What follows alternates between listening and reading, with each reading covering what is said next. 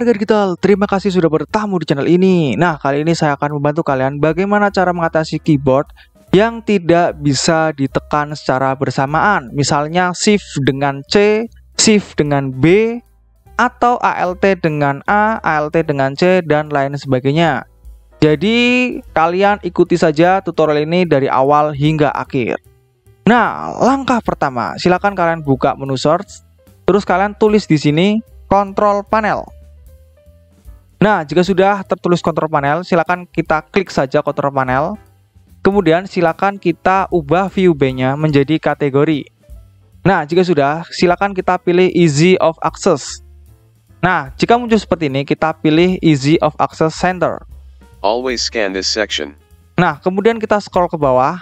Di bagian ini ada make the keyboard. Nah, kita klik saja ini. Nah, terus pada bagian ini, pastikan ini tidak tercentang ya. Jadi kalian bisa sesuaikan pengaturan laptop kalian seperti milik saya seperti ini.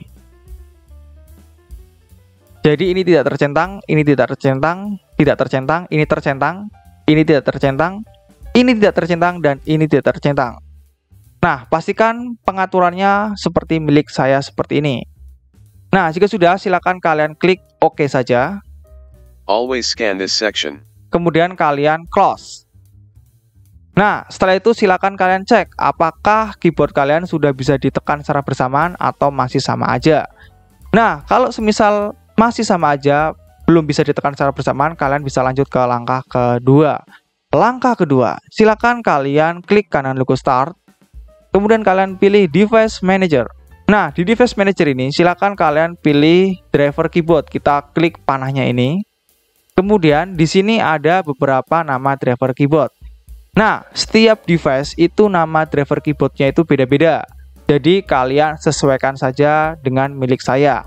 Kadang misalkan keyboard kalian itu adalah Toshiba keyboard, berarti kalian klik saja yang Toshiba keyboard. Kalau semisal keyboard driver kalian itu Samsung keyboard, mungkin di sini tulisannya Samsung keyboard device dan lain sebagainya. Jadi kalian sesuaikan saja tutorialnya dengan milik saya. Nah, karena di sini keyboard saya itu namanya standar PS per 2 keyboard, jadi saya pilih yang ini. Nah, Kak, misalkan di sini ada banyak nih Kak nama keyboardnya.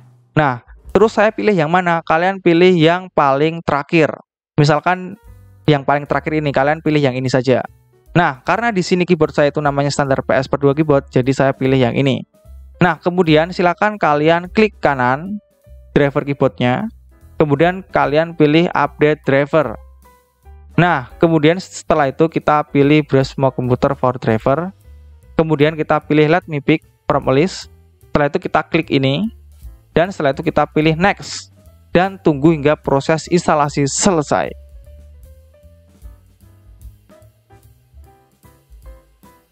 Nah, jika sudah selesai, silakan kalian close saja. Setelah itu kalian restart laptop kalian. Nah, jika sudah kalian restart, silakan kalian coba apakah keyboard kalian sudah bisa ditekan hurufnya secara bersamaan, tombolnya secara bersamaan, atau masih sama aja. Nah, kalau masih sama aja, kemungkinan ada kerusakan pada hardware laptop kalian, khususnya pada hardware keyboardnya. Nah, terus solusinya gimana kak? Solusinya silakan kalian bawa ke service center terdekat atau kalian bisa gunakan keyboard eksternal. Kalian bisa beli keyboard eksternal, kemudian kalian tancapkan ke laptop kalian, dan kalian bisa menggunakan itu untuk kegiatan sehari-hari, untuk mengetik. Tapi kalau kalian tidak punya uang untuk membeli keyboard eksternal, kalian bisa lakukan cara ini. Silakan kalian pilih keyboard pada bagian ini, touch keyboard kita klik saja. Nah, setelah itu silakan kalian misalkan kalian ingin mengklik tombol shift dan C. Nah, ini bisa diklik menggunakan tombol virtual keyboard ini. Jadi ini bisa menggantikan keyboard eksternal kalau kalian itu tidak bisa membeli keyboard eksternal. Kak, tapi di saya tidak ada seperti itu kak. Kalian bisa buka menu search, terus kalian ketik di sini keyboard. Nah, di sini ada on screen keyboard. Kita klik saja on screen keyboard. Nah, kalian bisa menggunakan ini juga. Misalkan kalian ingin mengklik shift dan C. Nah, ini bisa langsung. Jadi kalian tidak usah membeli keyboard eksternal kalau kalian tidak punya duit. Jadi kalian bisa gunakan on-screen keyboard ini. Nah, seperti itu aja. Nah, jika kalian terbantu dengan video ini, mohon klik tombol like dan subscribe. Karena dengan like dan subscribe, maka channel ini akan semakin berkembang dan kalian akan terus terbantu dan terhibur dengan video-video selanjutnya. Nah, jika kalian itu masih menemukan kendala, silahkan kalian tinggalkan komentar di video ini. Terima kasih.